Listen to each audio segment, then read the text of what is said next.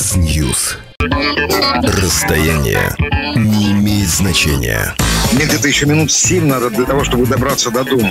Радио не мешают границы. Те преобразования позитивные, экономический рост, улучшение уровня жизни. Все происходило во время моего премьерства. Самые откровенные мысли. Если я добрый человек, предположим, это другим судить, то от того, что я говорю, что у меня нет души в религиозном смысле, я не перестаю быть добрым. Только на радио Болтком.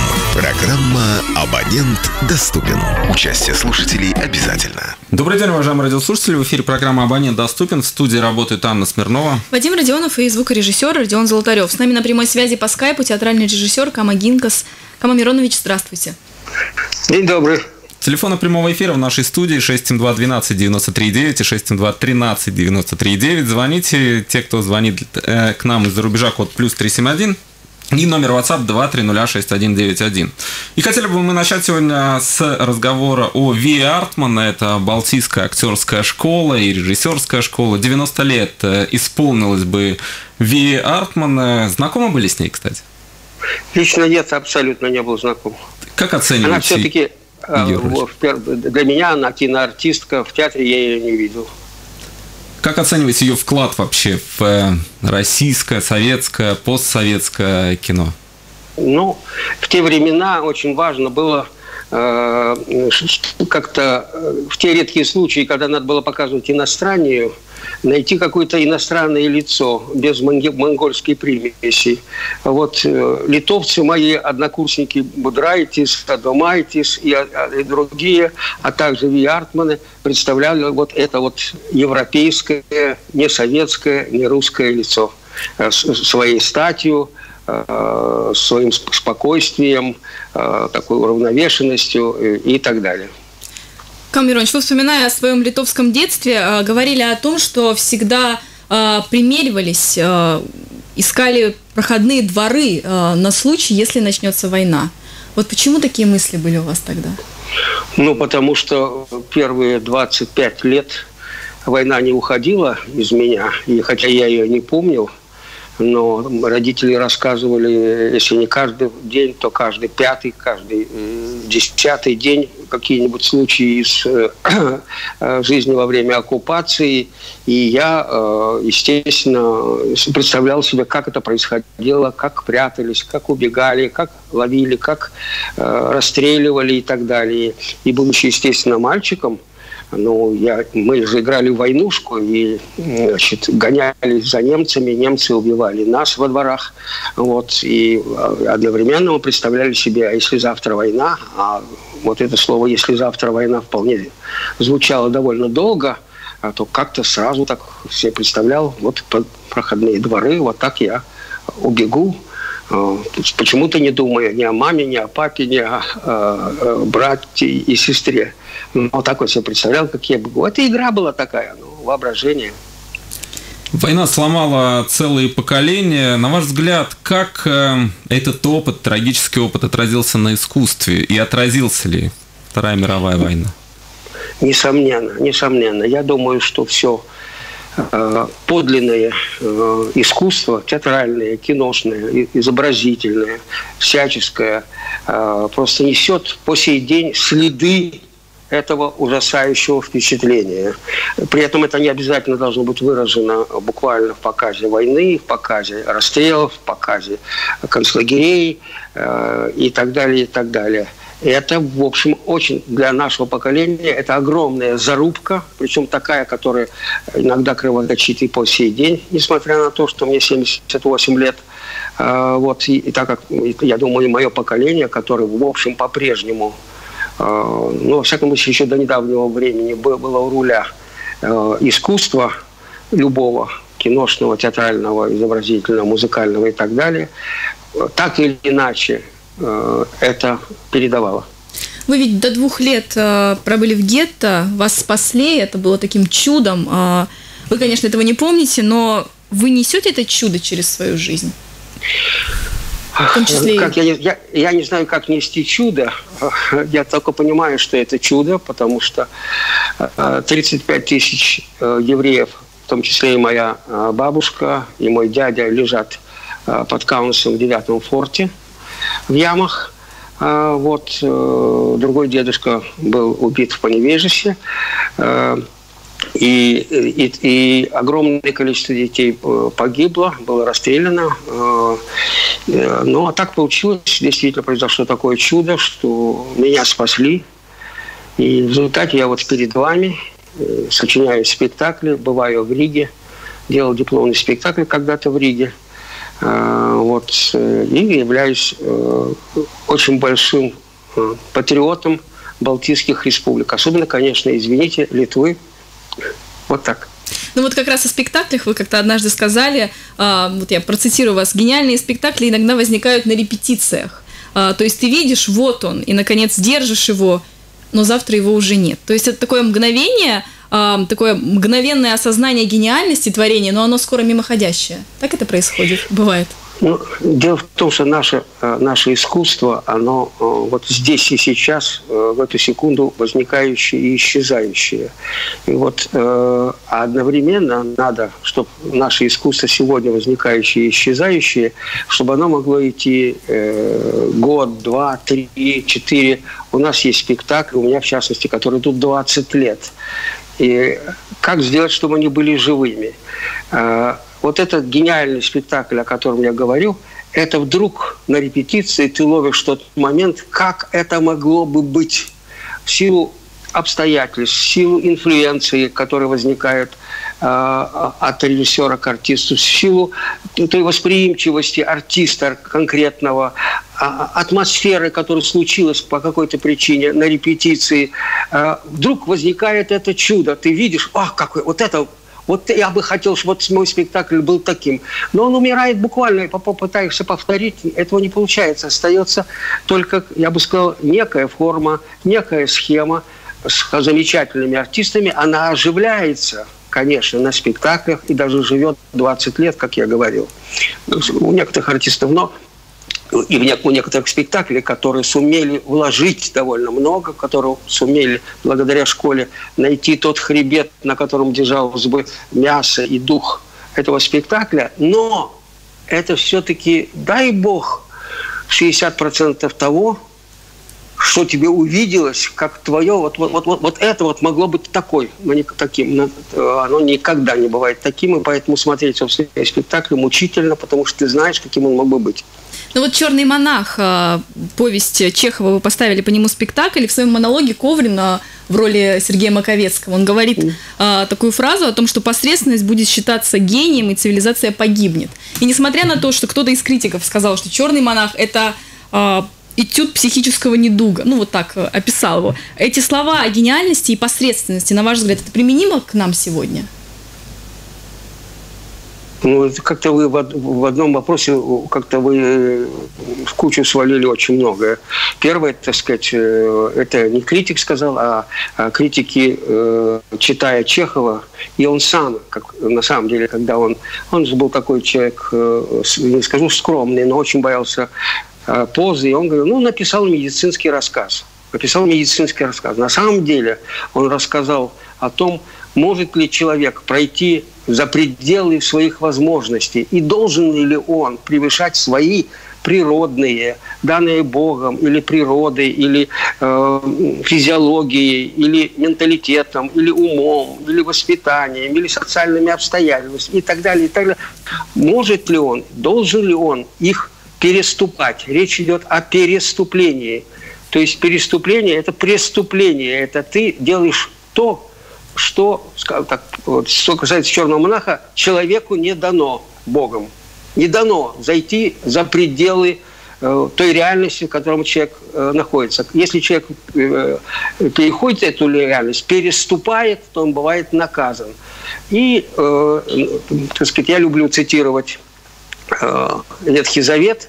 Товарищ Адам и э, ее, его барышня Ева, они переступили закон и познали себя и стали человеками, и мы в результате такие, какие есть, правда, мы наказаны, мы рождаем в муках и рождаемся в муках.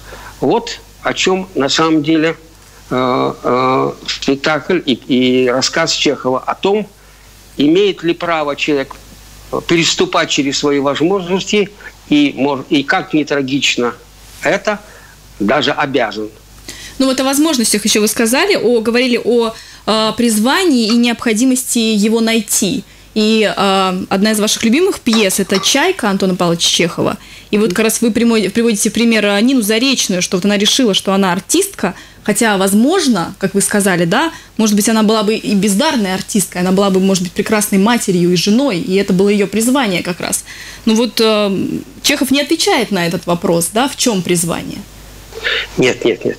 Чехов не отвечает и не задается вопросом. Он просто затрагивает проблему нахождения призвания.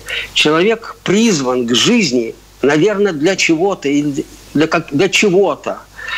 Для чего человек, который призван к жизни, не знает. Он мечется, он ищет. Э, для того, чтобы э, вкусно поесть, Э, комфортно полежать, для того, чтобы переплыть Ла-Манш просто вручную, для того, чтобы вылететь в космос. Для чего призван человек? Каждый человек сознательно, сознающий, как говорил Достоевский, пытается ответить себе на вопрос, для чего он призван. И мы, и каждый из нас пытается это найти. Только бывает очень много ошибок – очень много ошибок. Мы ошибаемся. Я, э, ну, пожалуй, последние там 10-15 лет думаю, что, пожалуй, все-таки режиссура и как минимум театр есть мое призвание. И я не ошибся, как думал мой папа, который считал, что это ошибка, так как я не имел чуть ли не 10 лет работы, и я не ставил спектакли. Но это оказалось все-таки призванием. Но могут быть ошибки. Был такой момент в моей жизни, когда я понял, да, это ошибка. Это ошибка. Вот э, у Аркадиной нет ошибки. Она родилась актрисой. А чего это стоило ей? Она э, живет без сына, она неизвестно, любит ли она его. Э, значит, у нее нету мужа, у нее меняются мужчины, и меняются театры, и театр для нее как призвание важнее. Что такое Тригорин? Тригорин призван быть писателем. Поэтому-то, опять же, у него нет семьи, поэтому у него нет любви, э, а есть только привязанность э, к тому вот облаку, который похоже на рояль, вот к этому вот проклятию. Вот что такое призвание. Это, это нахождение призвания это прекрасно одновременно проклятие. Ошибка в призвании – это мука до того, что можно застрелиться. В общем, промучиться можно быть э, актрисой, ездить как Нина, так сказать, э, маленькие города, играть, уже научиться, как держать руки, и это быть мука, потому что э, она не может не чувствовать, что, э, что она не артистка, что зритель ее не, не слышит, не принимает – и она, тем не менее, упорство, боясь ошибиться, продолжает. Таких людей в театре очень много. И вообще в жизни очень много людей, которые по ошибке э, поняли свое призвание и живут совсем не тем, считая, что там, скажем, может быть, даже семья – это как-то мало, не то, а материнство – это как бы не нужно. А есть, так сказать, вот женщины, э, которые, ну, женщины призваны к материнству, э, и, может быть, так сказать, это самое главное призвание, при том, что они могут э, торговать на базаре, ставить спектакли и летать в космос. Ну, а суть естества признания, на ваш взгляд, э, призвания, это спонтанность и отстраненность человеческая, или же все-таки есть какие-то, необходимо а, прилагать какие-то сверхусилия для того, чтобы достичь совершенства в своем призвании? Ой, конечно. Во-первых, так сказать, э, требуется огромное количество шагов, ошибок, э, э, блужданий, как в темном неизвестном лесу. Тем ли ты занимаешься? Понимать, что ты заблудился, найти опять эту дорогу, ужаснуться, что ты не выйдешь из, из этого темного леса, потому что это не твое призвание, не та дорога и так далее. Это, это бывает страшно. Вы себе не представляете, как это бывает страшно, когда ты ищешь. Но когда тебе кажется, ты находишь, или вернее, э, ну что ли, жизнь подсказывает, что, пожалуй, это не ошибка, что тебя признали, э, что тобой интересуется тем, чем ты занимаешься, что ты э, делаешь хорошие операции, ты резко убиваешь людей, а чаще их спасаешь. И что коллеги считают, что у тебя хорошие руки, не скажу золотые, но, в общем-то, профессиональные, что ты понимаешь, да, пожалуй, пожалуй, я э, хирург. Но для этого надо долго-долго, я из э, семьи врачей, я знаю, долго-долго учиться, и потом долго учиться, и тренироваться, и рисковать, и бояться убить человека вместо того, чтобы спасти его. Так что это, это поймать это призвание, найти его, удержать его, несмотря на все э, препятствия жизни, потому что жизнь все время тебя испытывает и говорит, нет, нет, это ошибка, ты недостоин этого. Работать, доказывать себе, ну и окружающим, что нет, это не ошибка. Напомню, так. что театральный режиссер Кама Гинкас сегодня с нами на прямой связи. У нас э, есть... Да, только что был звонок, сорвался. Напомню, телефон прямого эфира 672 12 93 9 и 672 13 93 9. Здравствуйте, как вас зовут? Э, добрый день. Да, Александр. слушаю вас, Александр. Э, скажите, пожалуйста, вот вы изучаете Чехова, ставите по нему пьесы. Вот Чехов говорил, что интеллигенции доверять нельзя. Можно верить только отдельным личностям. Вот это первый вопрос. Как вы к этому относитесь? Второй вопрос. Ну вот Солженицын. Э, Варлам Шаламов говорил, что он просто проходимец. Как вы к этому относитесь? Спасибо. Да, спасибо. спасибо. Два вопроса. Да, очень интересные вопросы. А, очень какие-то тонкие и э, вопросы человека, который знает э, Чехова и знает Шаламова и Солженицына. Понимаете, э, во-первых, мнение даже гения могут быть оспорены. Толстой считал Шекспира драмоделом и, и халтурщиком, и, в общем, автором бульварных трагедий. А, но, тем не менее, мы их ставим и знаем, что это гениально. А, Чехов, на самом деле, скажем, не любил Достоевского. Это нормально. Что касается до интеллигенции, то тут речь идет, ну, может быть, грубое такое высказывание, я не знаю, есть ли оно буквально, но то, что он относился к интеллигенции, то есть к себе в первую очередь, а, очень, как сказать, э, неоднозначно – и ставил спектакль, э, как, э, и писал пьесы и рассказы именно, собственно, про интеллигенцию, причем иногда интеллигенцию в первом поколении, каким был он сам. Людей, которые больше говорят, мало делают, которые духовное, или так сказать духовное, подменяет конкретной любви конкретному человеку и конкретное дело, которое интеллигент должен делать. Умозаключение, Эм, э, отвлеченной философии. Э, э, он ими подменяет конкретные, нередко, дела и поступки. Это мы знаем по себе, это мы знаем вокруг себя. Чехов, пытаясь не быть таковым, зачем-то поперся на Сахалин, на каторжный, создать каторгу и Сибирь. Зачем ему это было нужно? Он, бо... он, он боялся остаться таким вот, э, может быть, великим, но писакой, а не дельцом. А там он э, записал все фамилии, значит, всех каторжных. Он сделал какое-то конкретное, как ему казалось, дело. Потом он э, врачевал к нему приходили крестьяне, он врачевал. Он пытался, как бы, так сказать, ну что ли, не отказаться от того, что он интеллигент, но как-то исправить то, что он только интеллигент. Это первое. Что касается до Шаламова, который имел право как угодно говорить про Солженицына. Солженицын есть, есть Шаламов, и они не отменяют друг друга. 67212 939 и 67213 939 телефоны прямого эфира в нашей студии. Звоните, пишите, высказывайте свое мнение. Ну вот возвращаясь к Солженицыну, Шаламову и отношению общества к своей истории, потому что мы можем говорить, конечно, о том, о чем Шаламов написал в колымских рассказах, и Солженицын в «Архипелаге» или в «Круге первом». Это э, отношение к тоталитарному строю, к ГУЛАГу и так далее и тому подобное. Я здесь хочу провести такую аналогию с вашей историей, потому что в балтийских странах тяжело говорят о Холокосте, и в Литве тоже достаточно тяжело говорят о Холокосте, как мы знаем. А, на ваш взгляд, насколько тяжело принимать черные страницы своей истории народу?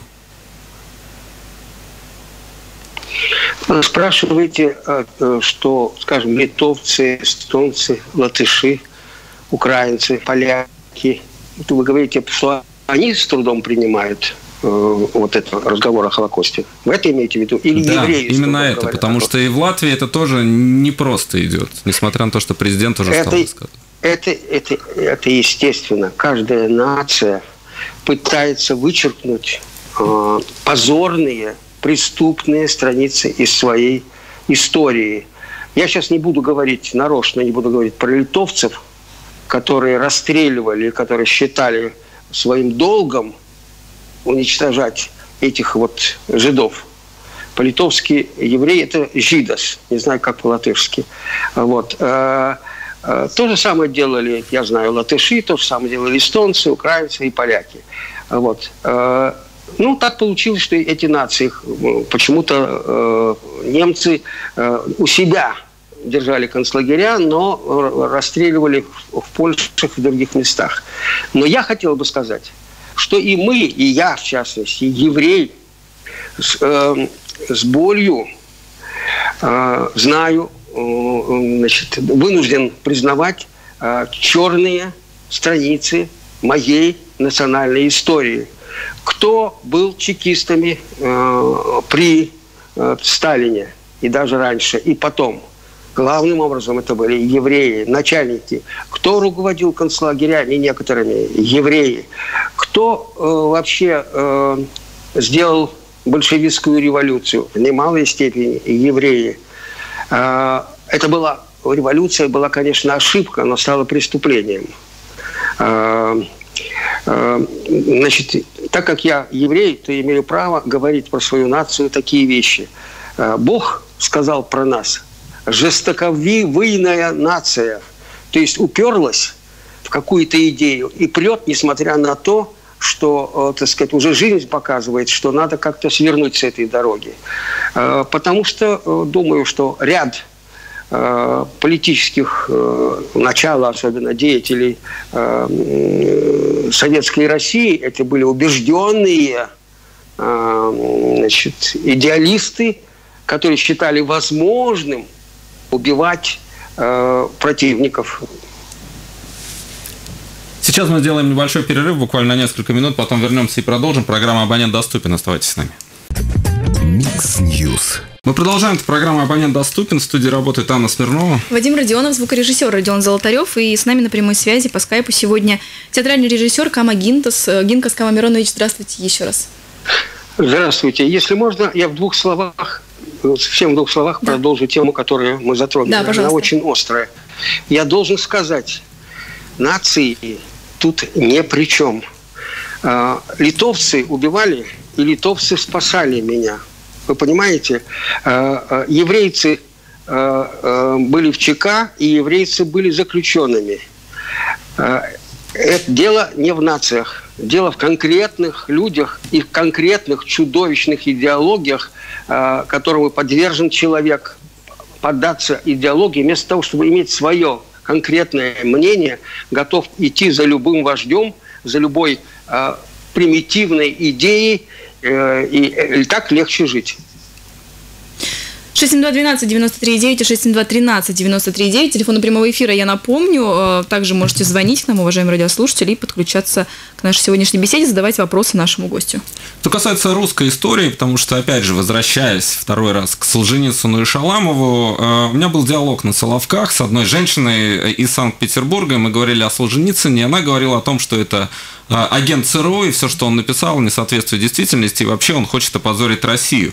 В русской традиции все-таки э, признавать свои черные страницы, опять же, ведь много написано и о ГУЛАГе, и о том, что делал Сталин, и его э, сподвижники.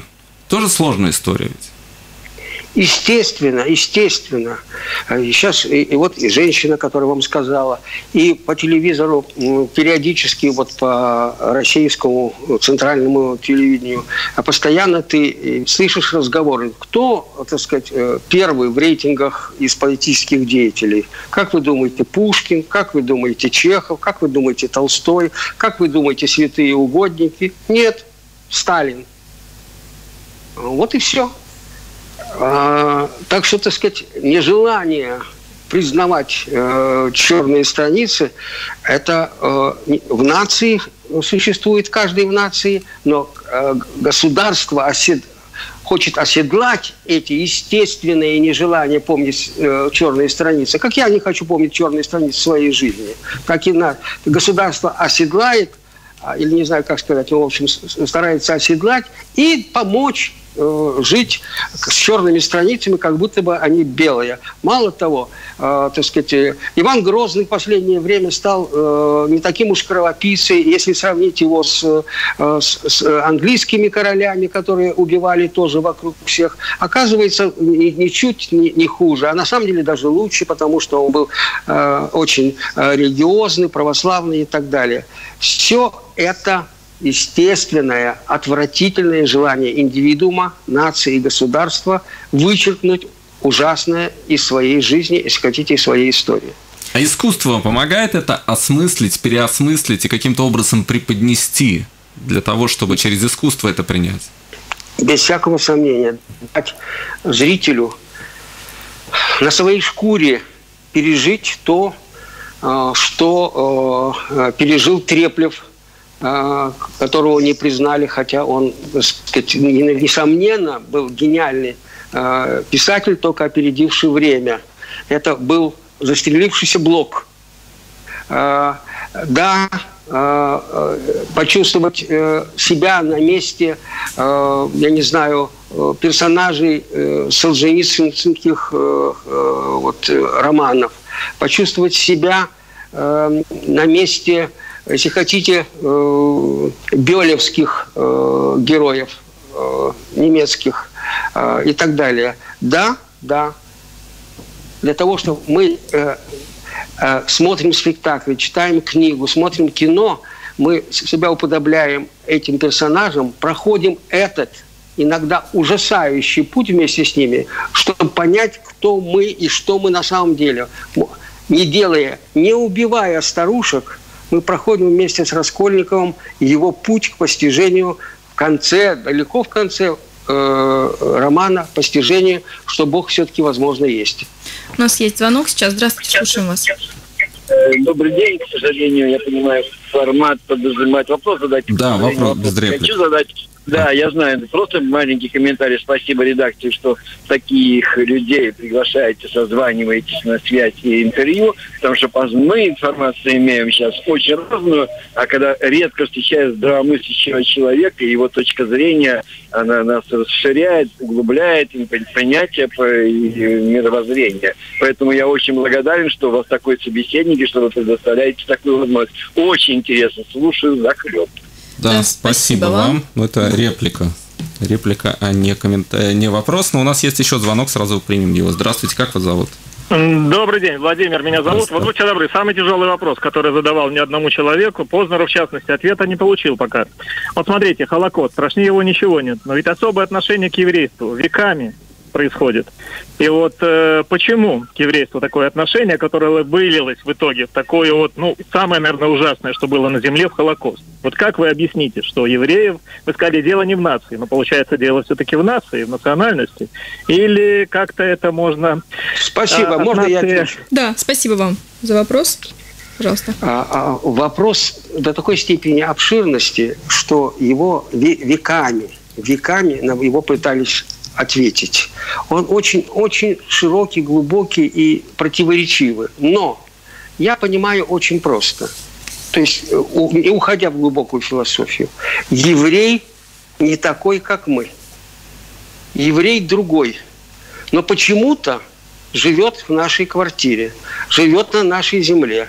Он а, вместо того, как всякий подобающий, подобающий э, значит, человек снимает шапку, когда входит в церковь, он обязательно напяливает. Это что? Это издевательство.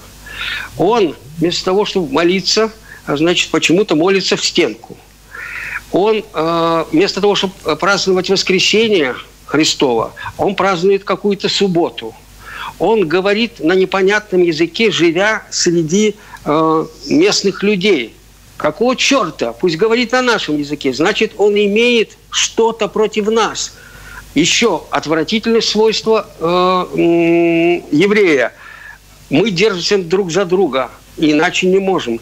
Мы можем э, друг за друга держаться в, в селе, в городе. Мы можем друг за друга держаться. Я из Москвы с, с евреями в Риге, с евреями в Штатах.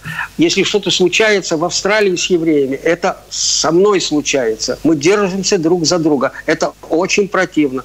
У литовцев есть э, э, даже такая поговорка по поводу евреев, которые, так сказать, живут как братья, а мы, значит, как враги, мол, литовцы. Ну, плохо передаю э, пословицу, а, но смысл такой.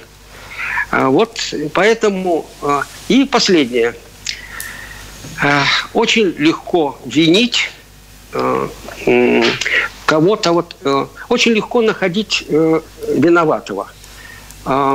Большевизм и социализм нашли виноватых богатых. А это, это же несправедливо, правда? Э, что у одних много, у других мало. Каждый нормальный человек, не надо быть философом, не надо быть образованным, понимает, у меня ничего, у него много. Это несправедливо, и даже по божественным несправедливо. Отдай мне, и, и все будет в порядке. После этого идет революция, резня, преступления, ужасы, гражданские войны, эм, братья стреляют друг друга, предают родителей и так далее, и так далее. Значит, потому что э, легко спихнуть, э, очень плохая логика, э, легкая логика. У Гитлера, как он просто э, соблазнил гениальный, духовный, если хотите, романтический немецкий народ, который, все буду говорить, каких, что сделали немцы в культуре. Очень просто. Сказал, мы живем плохо, потому что жиды у нас отнимают. Ой, действительно, действительно, и действительно – вот избавимся от жидов и будем жить хорошо. Фу, действительно, рядышком. Э, да, он, правда, только всего лишь портной. Да, он, правда, так сказать, немного зарабатывает. Но почему-то как-то в семье у него как-то все происходит, почему-то он детей любит, алкашей мало и так далее. И так. Это очень противно. Хочется убить.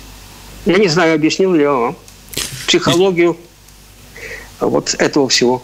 Еще звонок у нас. Здравствуйте, как вас зовут? Э, добрый день. Да, добрый. Как? как? Э, я хотел... Сделайте потише радиоприемник, пожалуйста. Познера... Сейчас, секундочку. По поводу Познера, да, что не у того человека спрашивали про еврейство, которое открещивается всеми видами. Давайте вопрос да. задавайте, это не реплики. Вопрос, в формате вопрос не такой. Э, я, как понял, ваш собеседник из Литвы, у него погибли там его родственники и еще тысячи и тысячи евреев, которые он причисляет тоже к себе, к этой нации. А как он относится то, что в Литве героизируют этих ребят? Вот такой вопрос у меня. Значит, я э, понял вопрос, и предыдущий имел к этому некоторое отношение, что с трудом, вы сказали, с трудом воспринимают, а еще и героизируют. Дело в том, что эта история чрезвычайно запутанная. А, а, Литва была суверенной. Сталин вошел в Литву, превратил ее э, в Советскую Республику, на самом деле оккупировал. А, литовцы, естественно, не хотели, они так мало имели суверенной Литвы, всего лишь 20 лет, что э, э, некоторые ушли в леса в ожидании, когда эта власть кончится. Тем более, что Гитлер шел сюда их спасать. Что такое Гитлер и что такое фашизм, знали не очень хорошо. В частности, так сказать, даже мой папа, который, так сказать, э, образованный врач и так далее, ну, как-то говорил, ну как, ну, немцы же культурный народ, да, наверное, там что такое, беспорядки какие-то, все такое. Это как-то не очень афишировалось. Вот. Они ушли в леса в ожидании, как э, э Гитлер придет, они выйдут из лесов и так далее. Кто был враг? советский солдат. Они стреляли из лесов. А дальше а, а, пришли немцы. Немцы расстреливали а, а, евреев, требовали уничтожения. Я психологию литовца, который участвует в расстреле евреев, а, объяснял. Но в лесах были и не расстрельщики евреев, а партизаны. Но только нередко это путалось, соединялось. И, и я не знаю, вот когда я вижу доску в Вильнюсе, посвященный какому-то, так сказать, литовскому ныне герою, я не знаю, как относиться. Он, может быть, действительно был герой, который пытался освободить Литву, от... или он был и, и, и, и жидоубийца. А может быть и то, и другое. Это страшный, трудный, трагический вопрос. У нас еще есть звонок. Здравствуйте. А, добрый день, да. Добрый, как вас ну, зовут? Вот э, Сергей, да. Да, Сергей. А вот вопрос такой, я очень слушаю внимательно, да, очень много эмоций у вашего гостя. И вот как бы он объяснил, значит, насколько вот с исторической точки зрения важны эмоции либо сухие цифры. Я поясню немножко, да. Вот э, Иван Грозный, английские короли. То есть, если взять чисто сухие цифры исторически подтвержденные, да, ну не так много он и убил по сравнению с английскими королями, да. И кто здесь виноват больше? Э, второе, значит, Солженицын говорит, половина населения сидела, половина охраняла. Но по статистике сидела в то время меньше миллиона. В то время как в Америке в это же время сидело 4 миллиона. Ну так э, с чем сравнивать? Так вот, насколько вопрос э, эмоции либо цифры? Спасибо. Во-первых, я хотел бы, так сказать, э, как известно, статистика – это такая самая ложная вообще вещь. Врут в одну сторону, врут в другую сторону – и эмоции тут как раз имеют значение. Врут эмоционально защищая свою идеологию, свои представления и так далее. И сравнивая, э, значит, э, убийцу и где-то убийцу Ивана Грозного, сравнивают с англичанами, которые тоже убивали своих родственников и так далее. Не надо скидывать на них. Ты отвечай за себя. Пусть у них происходит черт знает что. Да, в Африке вообще, так сказать, были, э, значит, как они назывались, которые ели людей. И что? Мы должны сравниваться с ними? Я думаю, что мы должны сравниваться с собой, со своей культурой, со своими выдающимися людьми, э, со своими праведниками, а не с преступниками и так далее. А что касается до того, сидели за что сидели, э, я не знаю миллионов. Я вообще в арифметику не лезу, потому что не верю в нее, в отличие от вас. Я еще объясню, почему.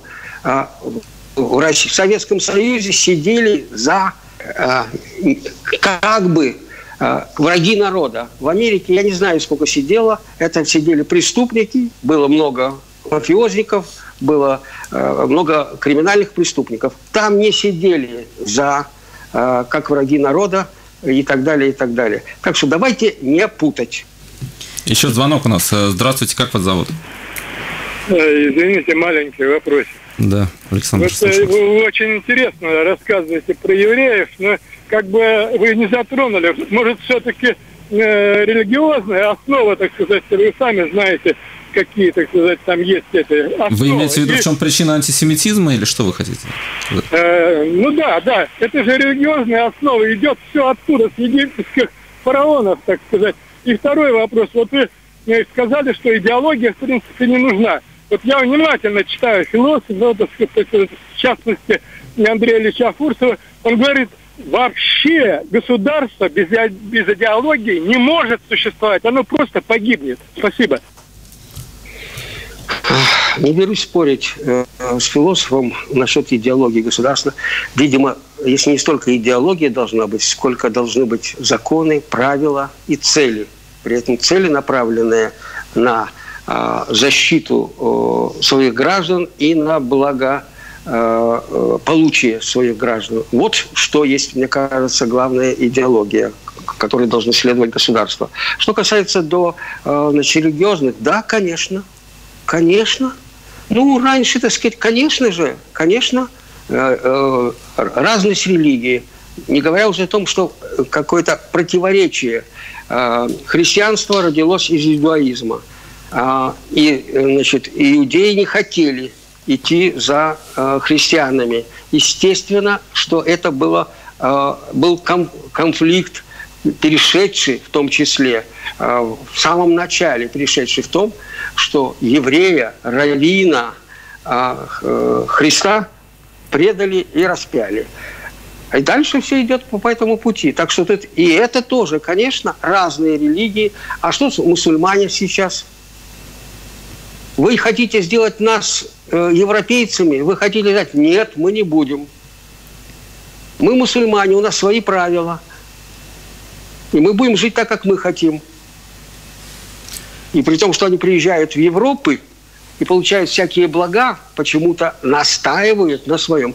А, ну, правда, так сказать, нередко э, агрессивно и, и, так сказать, переходя ну, бомбометание, взрывы и так далее. Что касается до, до э, евреев, это то же самое было в Испании, э, в Португалии. Евреев пытались крестить, иногда они крестились, но тихо праздновали субботу.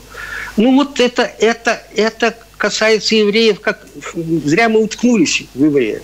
Потому что это, конечно, как бы острая тема и касается, если хотите, меня. Но на самом деле э, в Китае найдут своих, так сказать, евреев. В Москве сейчас, э, э, так сказать, евреи не есть враг, кавказец есть враг, а на самом деле уже азиат есть враг. Потому что он другой, потому что он занимает место, потому что он подметает э, мне улицу, а, и, и морда противная, и плохо говорит по-русски, и в такси говорит, э, не знает дороги, а водит машину, вызывает раздражение. Очень понятная психология. Не надо превращать это в, э, во что-то такое. Это естественное, человеческое. Понимаете? И последнее, что я скажу на эту тему. Давайте закончим. Надоело. А, мы частично животные. Животные – привыкли отмечать свои территории, знаете, каким способом, и загрызут, кто территорию эту нарушит. Человеки такие же. Мы делаем границы, и только границы не только, так сказать, границы буквальные, политические. Мы делаем границы в религиях, в культурах границы, в языках, и даже, так сказать, на улице, значит, э, в дни моего детства, одна улица дралась с другой. Я дрался с зеленогорцами. Они жили на горе, а мы жили внизу. Мы их били, они били нас, причем камнями. Вот тебе, пожалуйста, какая разница между ними и нами? Да никакой. Просто они на Зеленой горе жили, а мы под. Вот и все. Камеронович, вы же свои первые спектакли, в том числе и во дворе ставили, были режиссером-постановщиком. А, хотела вернуться все-таки к театру, да, поскольку времени у нас э, остается да. немного. Да, то есть вы начинали именно там, там это было действие, и вы им руководили. А с какими мыслями, на ваш взгляд, э, должен зритель выходить после ваших спектаклей сегодня? Сегодняшних? Да, сегодняшних, сегодняшних. Он должен выходить со своими свободными мыслями, такие, какие у него возникают э, в результате посмотренного спектакля. Я не диктую ему мысли. Мало того, честно говоря, я не люблю, когда э, зритель выходит и говорит, а, да, интересно, это спектакль про то-то и то-то. Угу. Это такое ощущение, что ученик ответил училке э, на вопрос, э, кому жить на Руси хорошо. Это про что? Он отвечает. Понимаете, он должен выйти, зритель должен выйти, я бы сказал, с противоречивыми чувствами и с противоречивыми мыслями, чтобы разбираться в самом себе. Он должен выйти таким, то есть я должен сделать то, чтобы он вышел и не побежал сразу, так сказать, э, э, в ресторан развлекаться и говорить, да, я хорошо провел время. Такие спектакли тоже нужны без всякого сомнения. А чтобы спектакль его не отпускал. И что на следующий день он думал, да что такое, почему я все время вспоминаю этого героя в этом дурацком спектакле этого дурацкого режиссера? Почему, да что такое, я так, я так и не понял. А Геда Габлер – это положительный герой или отрицательный? Ну, нет, ну как это? Нет, это, конечно, жалко, что она покончила с собой, но что какого она натворила? Нет, что-то я не понимаю. Вот он разбирается в ней, разбирается в себе. Ну что ж, на этом мы сегодня завершим наш эфир. Спасибо нашему гостю. Напомним, что сегодня у нас в программе «Абонент доступен». Да, театральный режиссер э, Кама Гинкас был с нами на прямой связи. Спасибо вам, Кама Миронович. Всего доброго. Из города Москвы, скажите, да. пожалуйста. Из, Из города, города Москвы. Москвы да, да так и есть. Спасибо вам, всего доброго и до свидания.